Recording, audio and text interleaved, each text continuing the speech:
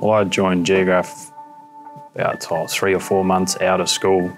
Started an apprenticeship as a first class machinist. Did my time to retapping holes and deburring things and yeah, sweeping the floor, all that stuff.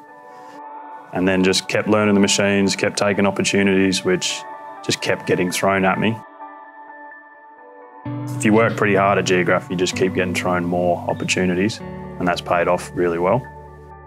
I love jumping between either helping guys program machines on the floor, helping train apprentices, new dudes, even tradesmen, implementing new processes and then going to fix old ones that have broken down somewhere. The feeling you get after you solve the challenges that each day presents, you know, so it's like oh, I'll generally set myself little goals along the way to help me out so I feel good after those little wins. There's that much going on at Geographe and advancements that it's pretty hard not to have a win every week because there's so much going on all the time.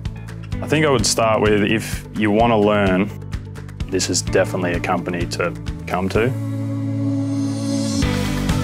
We're constantly trying to just level up everything, people included, processes included. Obviously, every company's trying to make more money, but we're trying to actually improve the whole lot, take everything to the next level. That's what I'd outline to a mate if I was saying you want to come to Geo's. If you want to level up, this is the place to come, sure. I'm Ethan. I'm a machinist at Geographe.